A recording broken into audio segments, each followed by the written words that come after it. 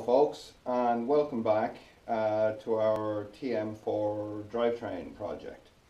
So when we last looked at this on video uh, we had just managed to crack the CAN messages needed to uh, initialize the inverter and get it to start issuing a torque command.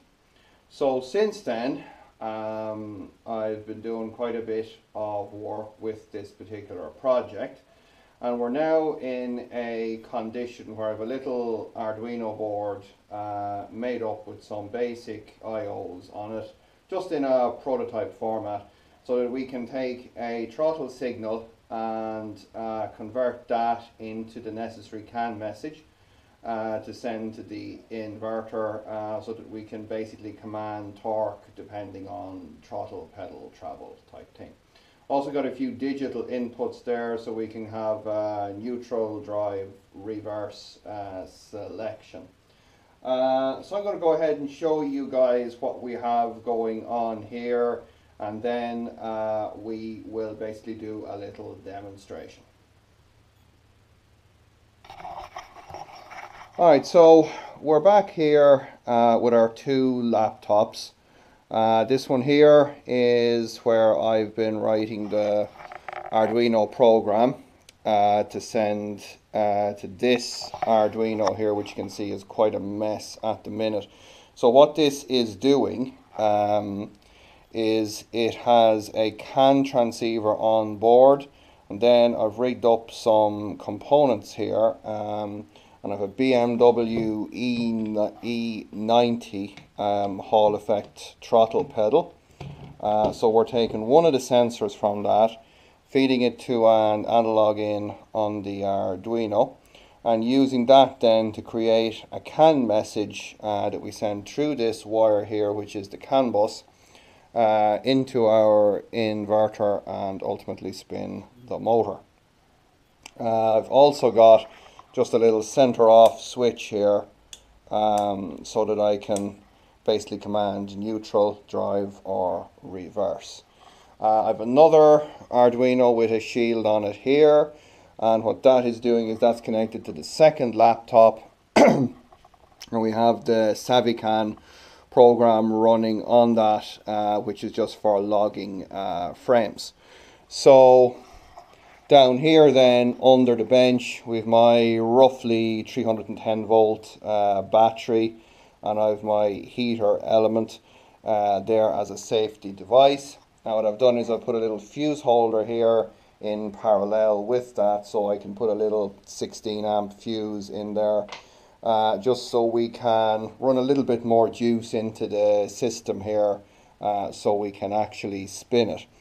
Um, so I was doing some spins earlier and had to put some oil into the gearbox and because I don't have the half shafts to go in here uh, the oil tends to want to come back out particularly when we get up to higher RPMs in reverse. So won't be able to do much reverse uh, or I don't want to go too high on the revs because the spider gears start to bang around inside the case here. So really don't want uh, something bad to happen there. So, okay, I'm going to get um, I'm going to get the power on, and we will uh, take this thing for a spin. Stay with us.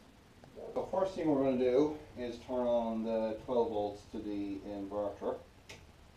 That's now got uh, 12 volt power going in. That's on the permanent uh, 12 volt feed to the inverter.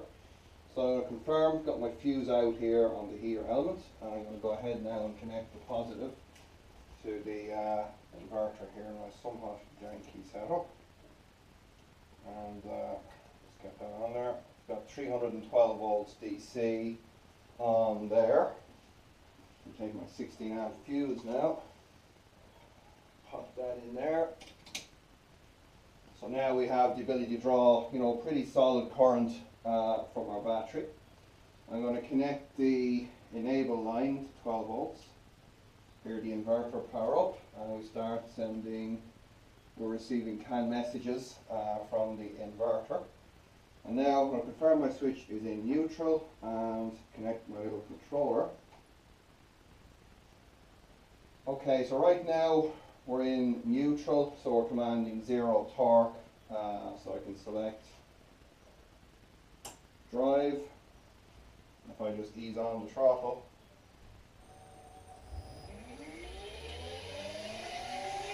you hear the motor wind up. I can ease. And we come to a stop. We select reverse, which is the pump out the oil. And we in reverse. Oh, there goes the oil. Oh, look at that. Yes, oil pump gear. So I won't be doing too much reversing for you guys. Alright, so I'm going to bring the camera in a little bit closer so you'll be able to see it and a bit more detail. And uh, yeah, let's do it. Alrighty, so I put a little piece of tape in here so you guys can see what's going on. So let's go into drive. I'll bring on some throttle.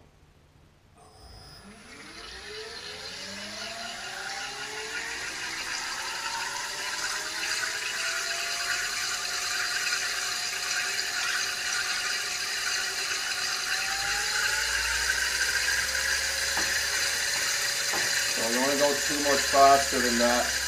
You can hear the spider gears banging in there. You've got nice progressive throttle control there.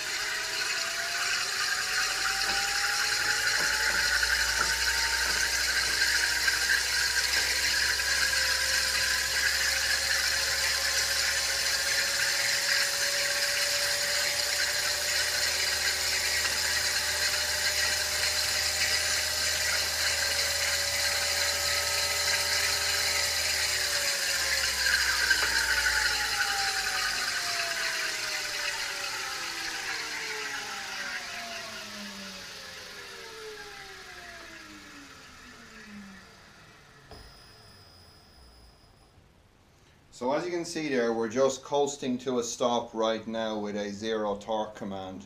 There's a reason for that because it looks like doing regen with this thing is going to be a little bit tricky from a software point of view. But anyway, let's do a quick run in reverse just to show you guys we are running in reverse.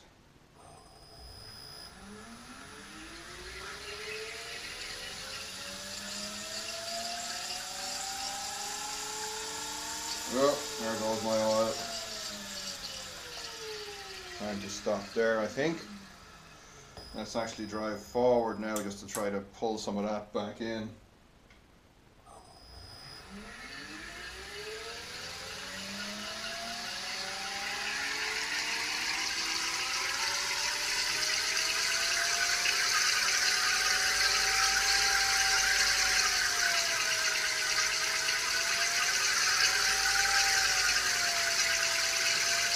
You got full throttle control.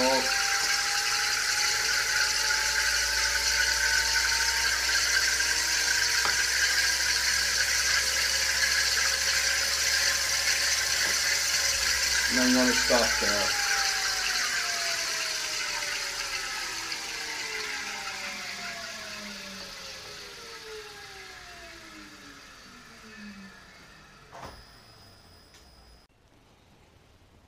Alrighty, so as I hope you guys have been able to see there, we have the basis of a little controller uh, for our TM4 drive system. Now, things to rem- remember here is that there is no safety in this thing whatsoever at the minute. It's just a bench test rig. So there's no brake input, there's no checking the throttle signal is valid, all those kind of things. And you could, with the way I got the software written at the minute, you could floor the throttle in neutral, flick the switch into to drive, and go from 0 to 150 newton meters every the next time the CAN message recycled, which is on a 10 millisecond timer. Uh, so that would not be good at all.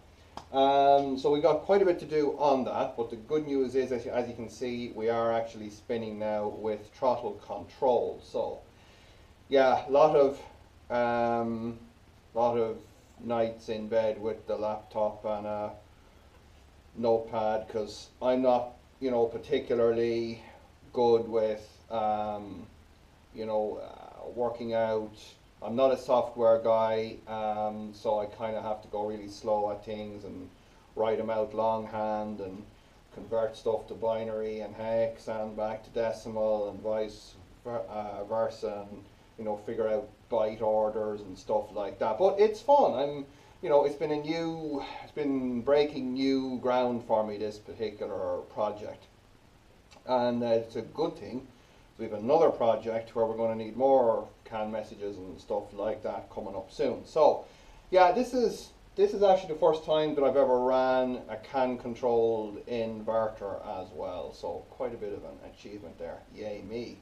So, okay guys, uh, that's enough self-congratulation on my side. Um, thanks a lot for tuning in. Thanks for all the support. Uh, don't forget to subscribe and leave a like and uh, we will see you all in the next video.